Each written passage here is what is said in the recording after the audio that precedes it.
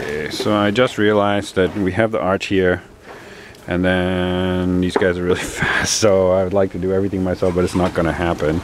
So um, anyway I realized that uh, they added this on here. So here on the door we obviously have the bricks running this way vertical and then uh, they made a support on top um, with the bricks running horizontal and latticed like we uh, had done throughout. So um, now it's stronger and we are reaching another point now where you can see that the dome is really exposed all the way through. And that's um, it's strong but it's not strong enough. So we're gonna build another layer. Oh, can't see my finger. I'm gonna move build another layer along here.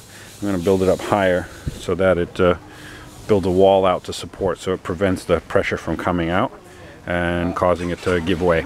So we're gonna build the support all the way around and here we have the chimney holes in the back and we'll build a chimney for it more than likely. And uh, here's the moisture evaporation hole.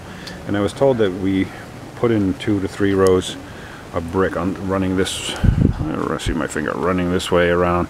And then uh, it's time to do the prayer and then put the rest of the brick and build the hole for moisture evaporation. Now we should let it dry.